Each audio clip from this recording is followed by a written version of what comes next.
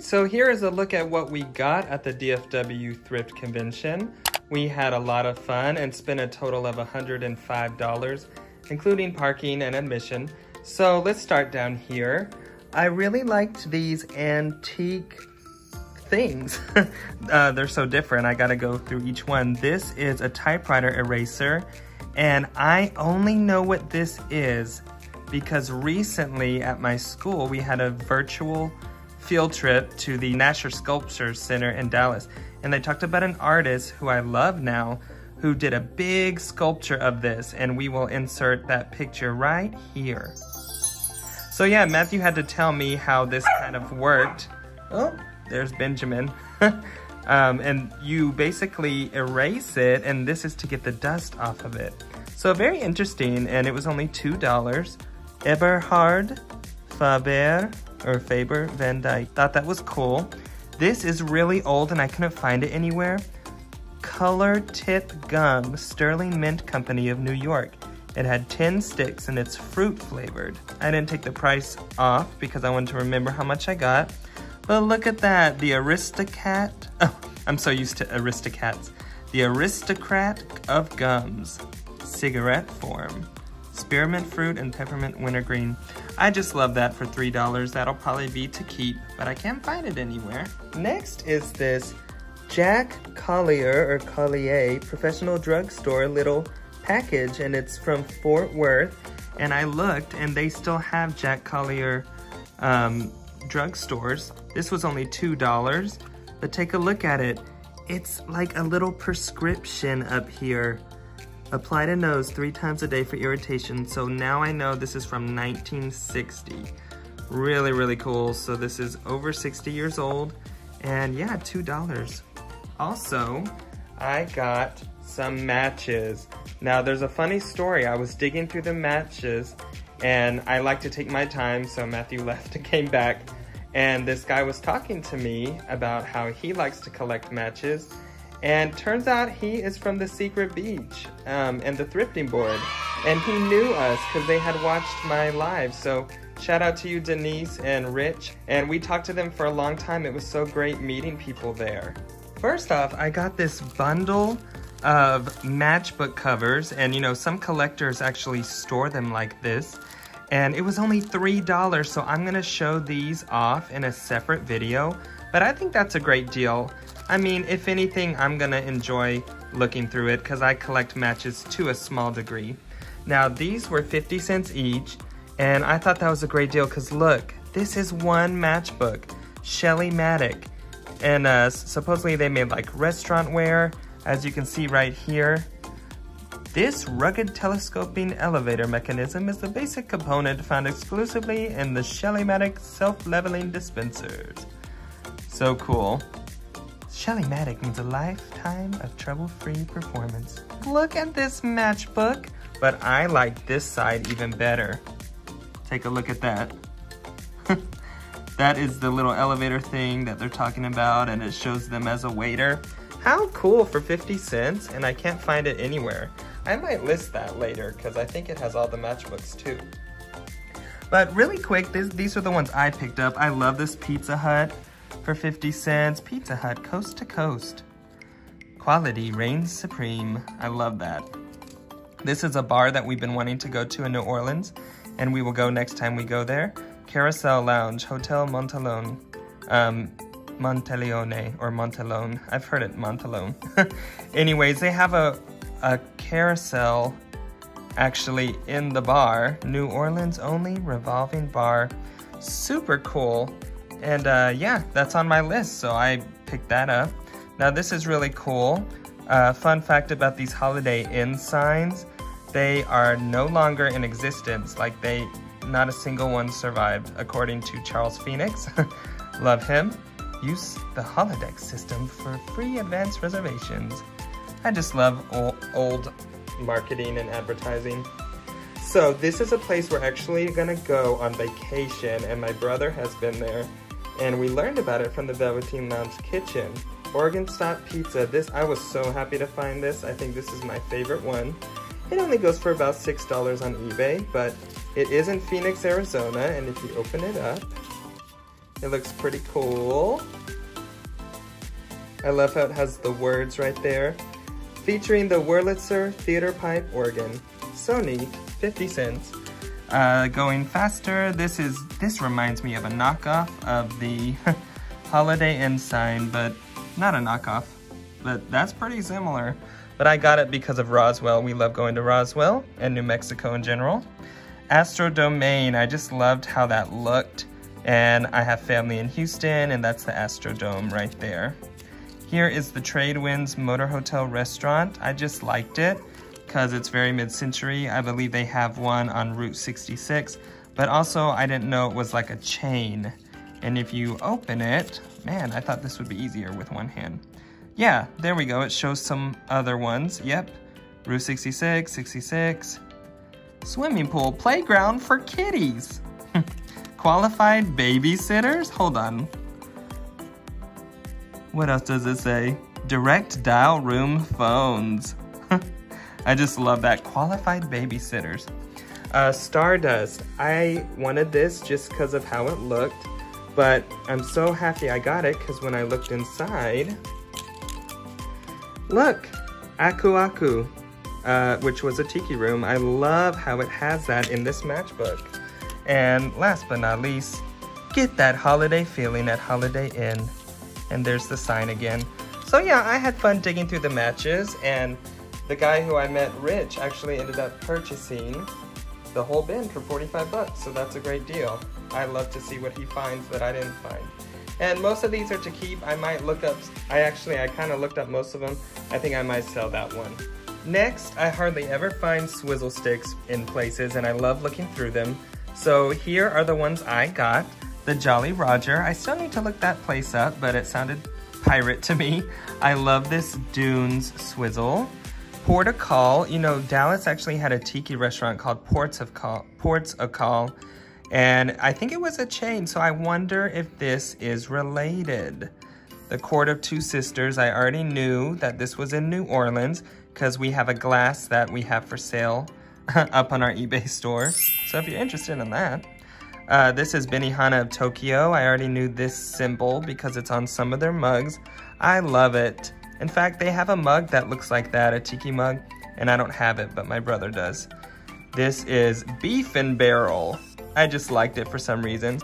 Uh, Beef and Barrel Company. I think it was a chain, and I recognized this right away. This is my favorite. It's a Menehune from Trader Vic's. See, you can see right there.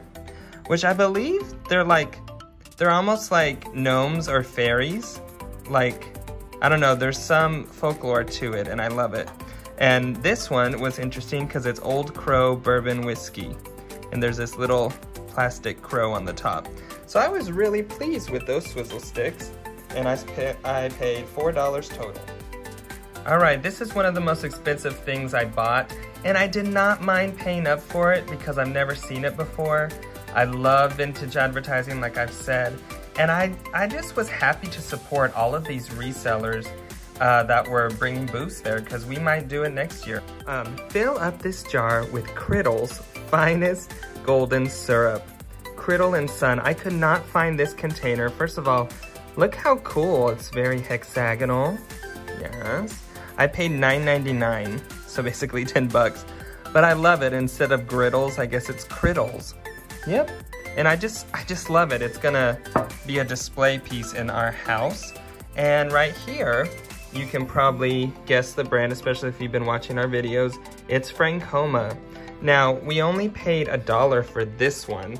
And at first I'm like, ooh, is that kind of like a tiki mug? But I didn't think it was, but it kind of has that look to it but it is a honey pot. And after she said that, I'm like, oh yeah, it does kind of look like a hive and I've seen them before. It is missing its lid, but she had it for a dollar. And I'm like, yeah, let's get it. And then this didn't have a price. It's like a demi-tasse and I believe it's the Aztec pattern and probably prairie green or, well, they have lots of different brown slash green. Plus, I'm green-brown colorblind. I get those confused. So I always have to get Matthew to tell me, like the olive brown, I always get confused. Like, is that green or brown? But anyways, this was $4, a little more expensive. It's actually probably worth about $4. Now these California raisins I kind of paid up for. I don't buy a lot of toys for myself. Actually, that's kind of a lie. But these were just $2 each and I just thought they were so cute. 1988 from Applause. Um, look at her or him just lounging, enjoying the beach. Oh, is that why she's all wrinkly? And her with her little tambourine and her heels. I love it so much. $2 each, and that'll just be on my little shelf. And these are one of my favorite things. They are not vintage, but they are paper mache made by an artist named Nicole Sayre, or Sayre. And she's actually really popular and her stuff goes for big bucks on eBay. I only paid $5 for the pair.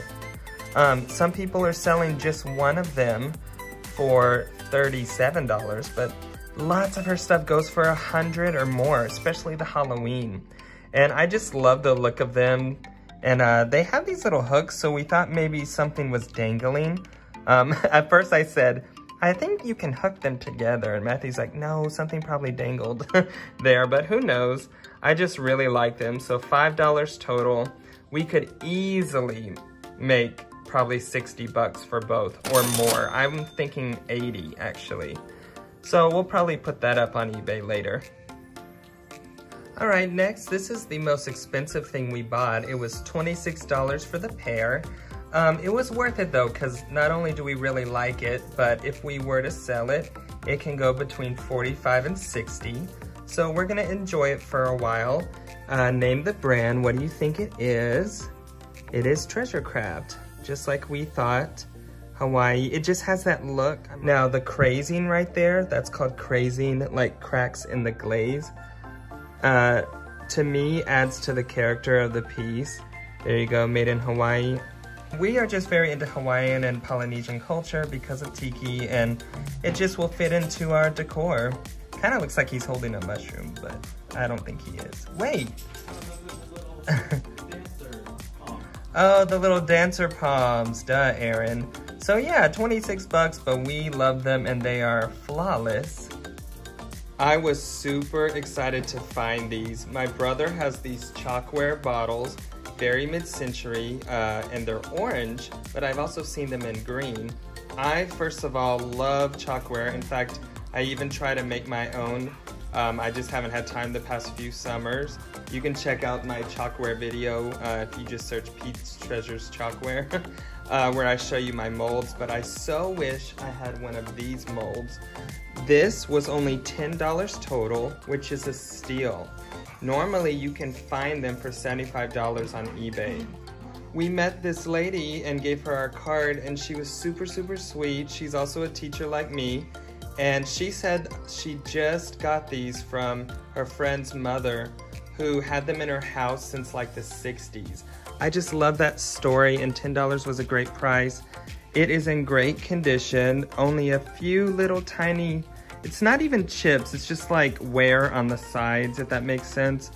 But I actually don't care for this color, although I do like how it has kind of like a opalescent, pearlescent sheen. I do think I kind of want to paint it, but maybe I'll let Matthew paint him. or we'll sell as is because, you know, I haven't seen one with this color.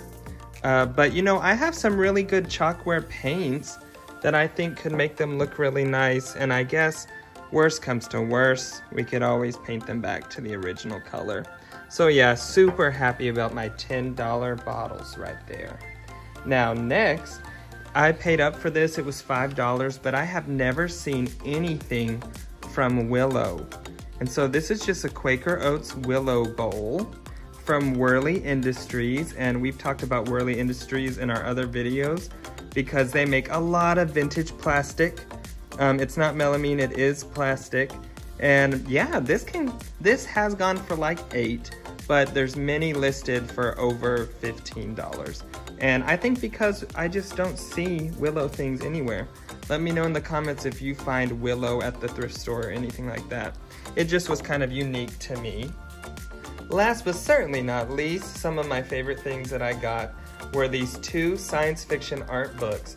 Chiaroscuro, which is an art style, I believe, from Tim White. This was $5. He actually had two of them, which I would have got the other one for real. Oh, look at that art. But the other one had some water damage, so I left it behind. But it can go for about 25 to $30.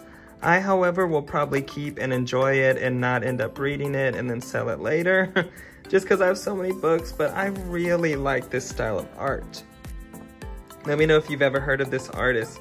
Um, it makes me want to really get into some more science fiction things because I, I really like that genre, especially vintage. I am super happy with this book, and it looks like it was produced in the UK, Paper Tiger. Originally $22, man, I got a deal for $5. And now this one was in a plastic bag, so I didn't even look through it, but it can go for about 15 to 25. The New Visions, a collection of modern science fiction art. And it, I'm super glad I got it. It was five bucks as well. And each page features a different artist and their art. Man, that's just cool because I never find science fiction art books. Um, I know I don't look through a lot of books because I don't go to half price books very often and things like that. But the thrift stores definitely don't have stuff like this that I easily find. So I love learning about new artists and yeah, it's from 1982. So hope you enjoyed seeing our adventure to the DFW Thrift Convention. Please give us a like and subscribe if you haven't. We really enjoy taking you places and we want to do that even more this summer. Uh, and hope you liked this haul. So thank you so much for watching. Keep digging for treasure because you won't find it if you don't look. Bye, everybody. Boom.